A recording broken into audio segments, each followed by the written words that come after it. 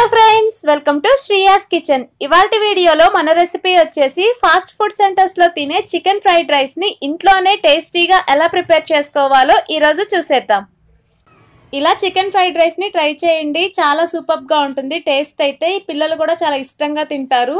ఇంకా ఏంటంటే బయట కొంటే మనకి ఎక్కువ చికెన్ పీసెస్ రావు కదా. ఇలా ఇంట్లో తయారు చేసుకోవటం వల్ల ప్రతి బయటలోనూ మనం చికెన్ పీసెస్ని ఆస్వాదించవచ్చు మరి లేట్ చేయకుండా దీని ప్రాసెస్ ఏంటో ఇప్పుడు మనం చూసేద్దాం. ముందుగా ఇక్కడ వచ్చేసి నేను ఇలాగ హాఫ్ కేజీ చికెన్ని బాగా ఉప్పు ఇంకా పసుపు వేసి క్లీన్ చేసుకొని తీసుకున్నాను. చికెన్ పీసెస్ని ఇలాగా సన్నగా పొడవుగా కట్ చేసుకొని తీసుకుంటే బాగుంటుందండి. ఇక్కడ వచ్చేసి ఇలా రెడీ చేసుకున్న చికెన్లోకి ముందుగా వన్ టేబుల్ స్పూన్ కారాన్ని యాడ్ చేస్తున్నాను. అదేవిధంగా వన్ టేబుల్ స్పూను ఉప్పును కూడా యాడ్ చేస్తున్నాను. ఇవి వచ్చేసి మీ టేస్ట్కి తగ్గట్టు యాడ్ చేసుకోవచ్చు. ఇలా వన్ టేబుల్ స్పూన్ అనే కాదు. ఇప్పుడు ఇందులోకి హాఫ్ టేబుల్ స్పూను మిరియాల పొడి యాడ్ చేస్తున్నాను. ఇందులోకి హాఫ్ టేబుల్ స్పూను అల్లం వెల్లుల్లి పేస్ట్ యాడ్ చేస్తున్నాను. ఇంకా ఇలాగ సన్నగా తరిగి పెట్టుకున్న కర్రీ లీవ్స్ని కూడా యాడ్ చేస్తున్నాను కరివేపాకుని. ఇంకా half tablespoon garam masala powder half tablespoon jeera పౌడర్ని కూడా యాడ్ చేస్తున్నాను. ఇప్పుడు వచ్చేసి ఒకసారి వీటన్నింటిని బాగా మిక్స్ చేసుకోవాలండి. ఇక్కడ వీడియోలో చూపించిన విధంగా ఇలాగ మొత్తం చికెన్కి పట్టేలాగా ఇలాగ మిక్స్ చేసుకోవాలి. మిక్స్ చేసుకున్న చికెన్లోకి ఇప్పుడు వచ్చేసి ఒక చెక్క నిమ్మరసాన్ని యాడ్ చేసేసుకొని మళ్ళీ ఒకసారి బాగా మిక్స్ చేసుకోవాలండి. ఫైనల్గా మనకి ఇలాగ మిక్స్ చేసుకున్న తర్వాత దీని మీద ఒక లిడ్ పెట్టేసేసుకొని ఒక టూ అవర్స్ పక్కన పెట్టుకోవాలి. లేదా వీలైతే రెఫ్రిజిరేటర్లో కూడా పెట్టుకోవచ్చు. దీనివల్ల ఏంటంటే చికెన్ మంచి జ్యూసీగా వస్తుందన్నమాట. ఈలోగా ఇలాగా వీడియోలో చూపించిన విధంగా మనం వెజిటేబుల్ ముక్కలన్నింటినీ కూడా రెడీ చేసుకోవాలి. ఆనియన్ ముక్కల్ని ఇంకా స్ప్రింగ్ ఆనియన్స్ని క్యారెట్ ముక్కల్ని ఇంకా అదేవిధంగా బీన్స్ ఇంకా పచ్చిమిర్చి ఇంకా అదేవిధంగా క్యాబేజీ. ఈ ముక్కలన్నింటినీ కూడా ఇలా కట్ చేసుకొని రెడీ పెట్టుకోవాలి. ఇప్పుడు టూ అవర్స్ అయిపోయాక నేను చికెన్ని మళ్ళీ రెఫ్రిజిరేటర్లో నుంచి బయటకు తీసాను మనకి ఇప్పుడు వచ్చేసి దీనిలోకి ఒక టేబుల్ స్పూన్ కార్న్ఫ్లోరు ఒక టేబుల్ స్పూన్ వచ్చేసి మైదా పిండిని యాడ్ చేసుకోవాలి. ఇలాగ యాడ్ చేసుకున్న తర్వాత ఇందులోకి కొంచెం ఎగ్ వైట్ ఉంటుంది కదా దాన్ని యాడ్ చేసుకోవాలి. ఇలా ఎగ్ వైట్ యాడ్ చేసుకున్న తర్వాత ఒకసారి బాగా మిక్స్ చేసుకోవాలి. మొత్తం అంతా కలిసేలాగా ఇలాగా మిక్స్ చేసుకోవాలి. ఇలా మిక్స్ చేసుకున్నాక ఇప్పుడు వచ్చేసి ఇందులోకి one tablespoon oil add చేసుకోవాలి. ఇలాగ ఆయిల్ యాడ్ చేశాక మళ్ళీ ఒకసారి బాగా కలుపుకోవాలి. ఇలా మిక్స్ చేశాక ఇప్పుడు ఇందులోకి ఒక టూ టేబుల్ స్పూన్స్ వాటర్ సరిపోతాయండి. టూ టేబుల్ స్పూన్స్ వాటర్ని యాడ్ చేసేసుకొని ఒకసారి మళ్ళీ బాగా మిక్స్ చేసుకోవాలి. దీనివల్ల ఏంటంటే చికెన్ మంచి జ్యూసీగా తింటున్నప్పుడు కూడా చాలా సాఫ్ట్గా ఉంటుందన్నమాట.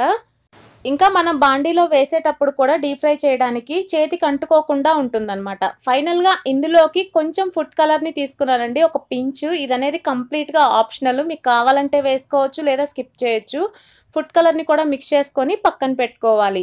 ఇప్పుడు వచ్చేసి డీప్ ఫ్రైకి సరిపడా ఇలాగ ఆయిల్ని తీసుకొని ఆయిల్ హీట్ అయ్యాక ఇందులోకి మనం ముందుగా రెడీ చేసి పెట్టుకున్న ఈ చికెన్ ముక్కల్ని వేసుకోవాలి. ఒకేసారి ఎక్కువ వేసేయద్దు. చికెన్ ముక్కలు కొంచెం కొంచెం వేసుకొని ఒక ఫోర్ మినిట్స్ పాటు వేయించుకుంటే సరిపోతుంది.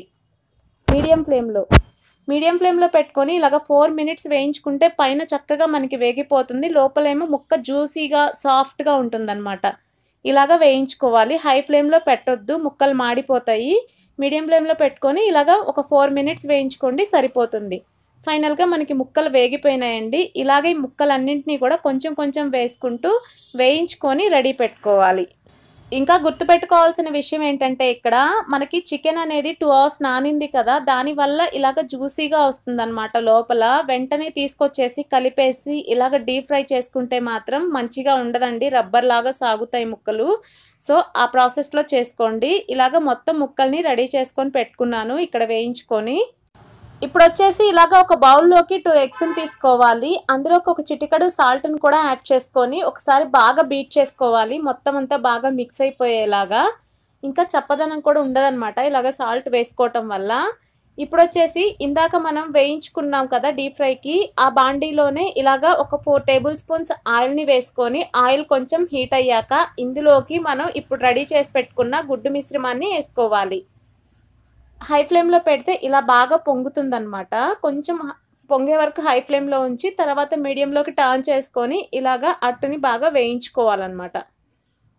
ఫైనల్గా ఇలా వేసుకున్న ఆమ్లెట్ని కొంచెం ఇలాగ పొడిలాగా చేసుకొని పక్కన పెట్టుకోవాలి. ఇప్పుడు ఇందాక మనం వేయించుకున్న చికెన్ ముక్కలు ఉన్నాయి కదా వాటిని వచ్చేసి కొంచెం బైట్ సైజులోకి ఇక్కడ వీడియోలో చూపించిన విధంగా కట్ చేసుకొని పెట్టుకోవాలి. అంటే మరి ఇంత పెద్ద పెద్ద ముక్కలైతే వేసుకోం కదా ఫ్రైడ్ రైస్లోకి సో ఇలాగ బైట్ సైజులోకి ముక్కల్ని కట్ చేసుకొని పక్కన పెట్టుకోవాలి. ఇప్పుడు వచ్చేసి ఒక ఇనుప బాండి ఉంటే కనుక ఇనుప బాండీని పెట్టేసుకోండి. లేదు అనుకుంటే మామూలుది పెట్టుకోండి. ఇనుప బాండీలో అయితే ఫ్రైడ్ రైస్ బాగుంటుంది ఇలాగా ఇందులోకి ఒక three to four tablespoons ఆయిల్ని యాడ్ చేసుకొని ఆయిల్లోకి ఇలాగా కట్ చేసి పెట్టుకున్న సన్నగా కట్ చేసుకొని పెట్టుకున్న వెల్లుల్లి ముక్కల్ని ఇంకా అదే విధంగా ఇలాగ తరిగి పెట్టుకున్న అల్లాన్ని కొంచెం కొంచెం యాడ్ చేసుకోవాలి. ఇవి కొంచెం వేయించుకోవాలి. ఇవి కొంచెం వేగాక ఇందులోకి మనం ముందుగా కట్ చేసి పెట్టుకున్న ఆనియన్ ముక్కలు ఉన్నాయి కదా సన్నగా తరిగి పెట్టుకున్నాం కదా ఆనియన్ ముక్కల్ని కూడా యాడ్ చేసుకోవాలి. ఉల్లిపాయ ముక్కలు ఒక టూ మినిట్స్ వేగాక ఇందులోకి ముందుగా కట్ చేసి పెట్టుకున్న ఈ పచ్చిమిర్చి ముక్కల్ని కూడా యాడ్ చేసుకోవాలి. ఇప్పుడు వచ్చేసి ఇందులోకి బీన్స్ ఉన్నాయి కదా బీన్స్ ముక్కల్ని కూడా యాడ్ చేసుకోవాలి. ఇంకా అదే విధంగా క్యారెట్ ముక్కల్ని ఇంకా క్యాబేజీ తరుగుని కూడా యాడ్ చేసుకోవాలి. కొంచెం స్ప్రింగ్ ఆనియన్స్ని కూడా యాడ్ చేసుకోవాలి. ఇలాగా మొత్తం అన్నింటినీ కూడా మనం కట్ చేసి పెట్టుకున్న వెజిటేబుల్స్ అన్నింటినీ కూడా యాడ్ చేసుకొని ఇందులోకి కొంచెం ఉప్పునే వేసుకోవాలండి. ఇప్పుడు ఇందులోకి ఒక రెండు రెంబల కరివేపాకును కూడా యాడ్ చేసుకోవాలి. ఇంకా అదే విధంగా వన్ టేబుల్ స్పూన్ వరకు రెడ్ చిల్లీ సాస్ని యాడ్ చేస్తున్నాను. ఇంకా హాఫ్ టేబుల్ స్పూన్ వరకు గ్రీన్ చిల్లీ సాస్ని కూడా యాడ్ చేస్తున్నాను. ఇంకా కొంచెం వెనిగర్ని కూడా యాడ్ చేసుకోవాలి. హాఫ్ టేబుల్ స్పూన్ యాడ్ చేశాను. ఇంకా హాఫ్ టేబుల్ స్పూన్ సోయా సాస్ని కూడా యాడ్ చేస్తున్నాను. ఇప్పుడు ఇందులోకి హాఫ్ టేబుల్ స్పూన్ వరకు మిరియాల పొడిని కూడా యాడ్ చేసుకోవాలి. ఇంకా అదే విధంగా కొంచెం గరం మసాలాను కూడా యాడ్ చేసుకోవాలి. ఇవన్నీ ఒక నిమిషం పాటు వేగాక ఇందులోకి మనం ముందుగా కట్ చేసి పెట్టుకున్న చికెన్ ముక్కల్ని కూడా యాడ్ చేసుకోవాలి. ఫైనల్గా ఒకసారి బాగా మిక్స్ చేసుకొని ఒక టూ మినిట్స్ వేగనివ్వాలండి. టూ మినిట్స్ వేగాక ఇందులోకి మనం ముందుగా సిద్ధం చేసి పెట్టుకున్న ఇలాగ పొడి పొడిలాడే అన్నాన్ని యాడ్ చేసుకోవాలి. ఇక్కడ వచ్చి నేను మామూలు రైస్నే తీసుకున్నానండి. ఎందుకంటే మనకి బయట మామూలు రైస్తోనే చేసిస్తారు కదా ఫాస్ట్ ఫుడ్ సెంటర్లో. ఫ్రైడ్ రైస్ అనేది ఇప్పుడు పైన వచ్చేసి ఇలాగ మనం ముందుగా రెడీ చేసి పెట్టుకున్నాం కదా కోడిగుడ్డు పొరటుని దాన్ని కూడా యాడ్ చేసుకొని ఫైనల్గా కొంచెం మీ దగ్గర ఉంటే కనుక వైట్ పెప్పర్ పొడిని యాడ్ చేసుకోవాలి. ఇంకా కొంచెం అన్నానికి సరిపడా ఉప్పుని కూడా యాడ్ చేసుకోవాలి. వైట్ పెప్పర్ పొడి లేకపోతే కనుక మామూలు పెప్పర్ పొడిని అయినా సరే కొంచెం యాడ్ చేసుకొని ఫైనల్గా ఇలాగా హై ఫ్లేమ్లో పెట్టేసుకొని ఒక ఫైవ్ మినిట్స్ పాటు తిప్పుకుంటూ వేయించుకోవాలండి. ఎప్పుడైనా సరే ఫ్రైడ్ రైస్ ఇలాగ టాస్ చేసుకుంటూ హై ఫ్లేమ్లో స్మోకీ ఫ్లేవర్ వచ్చేలాగా వేయించుకుంటేనే దాని టేస్ట్ అనేది బాగుంటుందన్నమాట. ఇప్పుడు వచ్చేసి దీని మీద కొంచెం స్ప్రింగ్ ఆనియన్స్ని చల్లుకొని ఫైనల్గా కొంచెం కొత్తిమీర తరుగును కూడా యాడ్ చేసుకొని ఒకసారి మళ్ళీ బాగా మిక్స్ చేసుకోవాలి. ఒక టూ మినిట్స్ హై ఫ్లేమ్లో ఇలాగా బాగా మిక్స్ చేసుకున్నాక మీరు సర్వింగ్ ప్లేట్లోకి తీసుకుంటే ఎంతో టేస్టీగా ఉండే చికెన్ ఫ్రైడ్ రైస్ రెడీ అయిపోతుంది. ఇలా వేడివేడిగా ఉన్న ఫ్రైడ్ రైస్లోకి ఆనియన్స్ ఇంకా అదేవిధంగా నిమ్మకాయని పిండుకొని తింటుంటే టేస్ట్ అనేది చాలా సూపర్గా ఉంటుందండి. మీరు కూడా తప్పకుండా ట్రై చేయండి. ఇంకా తింటున్నప్పుడు ప్రతి బయటలోనూ కూడా మనకి ఈ చికెన్ ముక్కలు అనేవి తగులుతూ ఉంటాయన్నమాట. ఇంట్లో మనం చేసుకుంటే బయట అయితే మనకి అన్ని ముక్కలు వాడు వేసి ఇవ్వడు కదా. సో మనకు ఇంట్లో చేసుకుంటే ఏంటంటే ఆ సాటిస్ఫాక్షన్ అయితే ఉంటుంది తప్పనిసరిగా. మీరు కూడా తప్పకుండా ట్రై చేయండి. ఈ వీడియో కానీ మీకు నచ్చినట్టయితే లైక్ చేయండి షేర్ చేయండి. ఇంకా మన ఛానల్ని ఫస్ట్ టైం చూస్తుంటే సబ్స్క్రైబ్ చేసుకోవడం మాత్రం మర్చిపోకండి. మరో మంచి వీడియోతో మీ ముందుంటాను. బాయ్.